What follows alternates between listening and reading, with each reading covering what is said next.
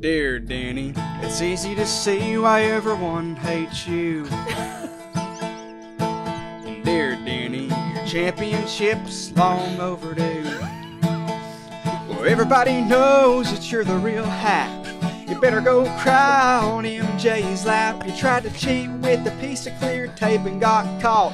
I bet you get scared when you hear the name Ross.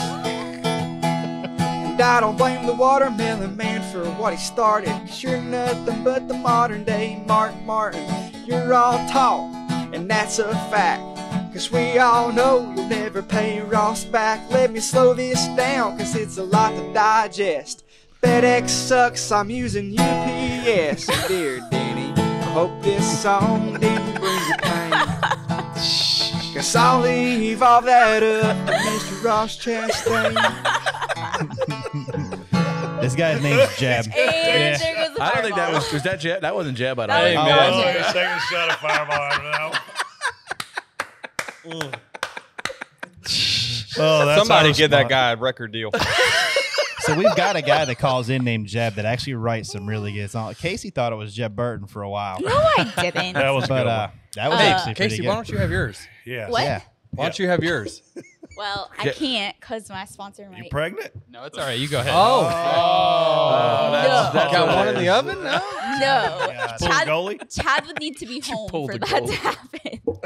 All right, let's move But who's on. this? Hey, Uh, so hold on before we Hold get on. back. So that was so that was not a very nice comment. Song, that that, yeah. that song that guy had there. Very Listen, mean. People think they insult me by saying the modern day Mark Martin. Yeah, that's not. That's a compliment. I mean, let me tell the public, thank you.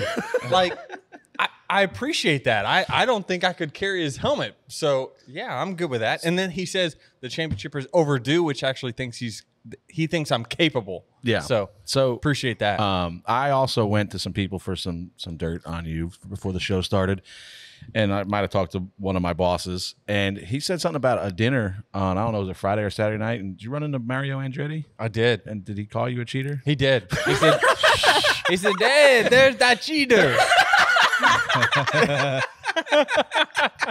That's actually probably a compliment too. I mean, it's Mario Andretti, man. I said, what are you talking about? What what what cheater? I did like the tweet from the Dawsonville pool hall deal that said they're hanging the letter up and they could use they could use a piece of tape to hold the letter. That I was mean- pretty good. What is up with the people that have a problem with my social media post playing fun with the trophy? Like, do you guys not have a sense of humor? Uh, For they real? don't. Have you They figured don't. this They out? truly don't. They don't. Why were you eating a meal out of a box? Why not a plate? That was takeout, actually, and that was one of the best fillets I ever had.